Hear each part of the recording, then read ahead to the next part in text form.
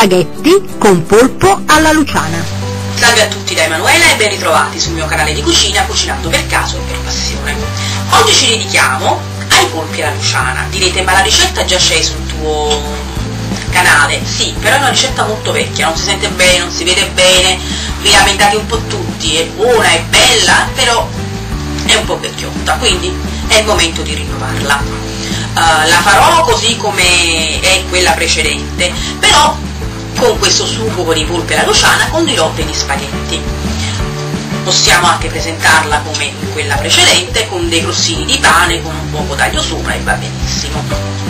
Il polpo alla luciana nasce nel borgo di Santa Lucia, che è un borgo esistente ancora, era un borgo marinaro anticamente, ne è rimasto ben poco insomma di quello che era il vero cuore della Santa Lucia di una volta, però c'è rimasta questa ricetta che io vi propongo come una delle ricette più belle della tradizione napoletana. Allora incominciamo con gli ingredienti e poi incominciamo a cucinare. Gli ingredienti per i nostri polpi alla luciana sono 3 polpi di media grandezza, lavati, puliti ed eviscerati bene. Uh, vi dirò esattamente il peso nella striscia sottostante con tutti gli ingredienti. Poi abbiamo un cucchiaino di prezzemolo tritato fine, due spicchi d'aglio, una quindicina di olive mm, nere di gaeta, una scatola di pelati da 380 grammi, quella che comunemente viene detta da mezzo chilo, eh, da cui ho levato diciamo un cucchiaio di pelati. Vedete, io già l'ho mm, eh, spezzettati in modo che poi è più facile lavorarli.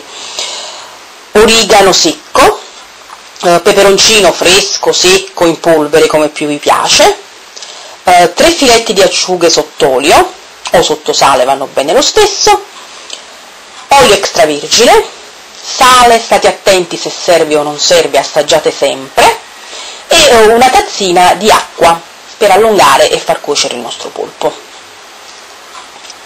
Ho messo in una pentola o di alluminio o di coccio, se ce l'avete andrebbe benissimo, eh, una mezza tazzina di olio extravergine con i due spicchi d'aglio puliti e adesso li faccio dorare.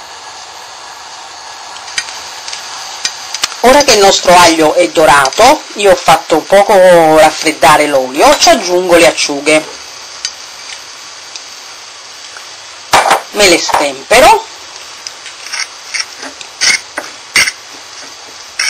e rimetto il tutto sul fuoco.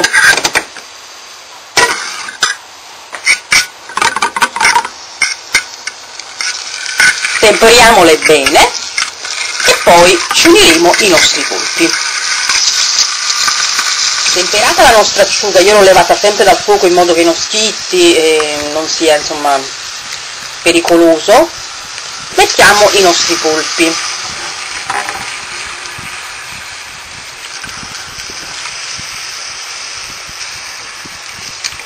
Rimettiamo sul fuoco. Adesso si devono diciamo un po' arricciare e prendere un po' il gusto della nostra acciuga ora che sono diventati rossi che um, insomma diciamo abbiamo dato una prima cottura io ho levato anche l'aglio vedete due spicchi aggiungiamo i nostri pomodori. Ora uniamo le nostre olive denocciolate il nostro origano a gusto se ci piace di più ci piace di meno comunque ci vuole nel polpo alla lucia ci vuole l'origano il nostro peperoncino. E ci mettiamo la nostra tazzina di acqua. Adesso copriamo lasciamo andare. Vi dirò esattamente quanto tempo è passato per la cottura il prezzemolo ce lo mettiamo praticamente alla fine quando il nostro sugo è bello fatto. Io con questo sugo condirò gli spaghetti. Sono passati 40 minuti e il mio polpo è cotto. Adesso io prendo il prezzemolo e ce lo metto dentro.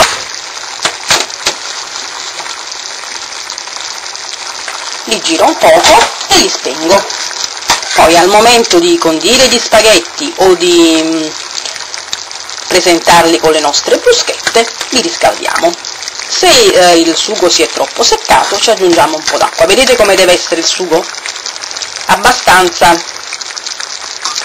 diciamo ristretto ma devi avere un poco un poco di sughetto in più perché è l'acqua che hanno cacciato poi tra l'acqua che abbiamo messo noi che si è asciugata e l'acqua del polpo abbiamo questo sughetto ricco di gusto ho aspettato che l'acqua bollisse e ho buttato i miei spaghetti. Li facciamo belli al dente perché poi li ripassiamo nel nostro sugo. Ho messo gli spaghetti nel sugo dei nostri pulpi. Adesso li faccio insaporire e li servirò con un polpo sopra per ogni commensale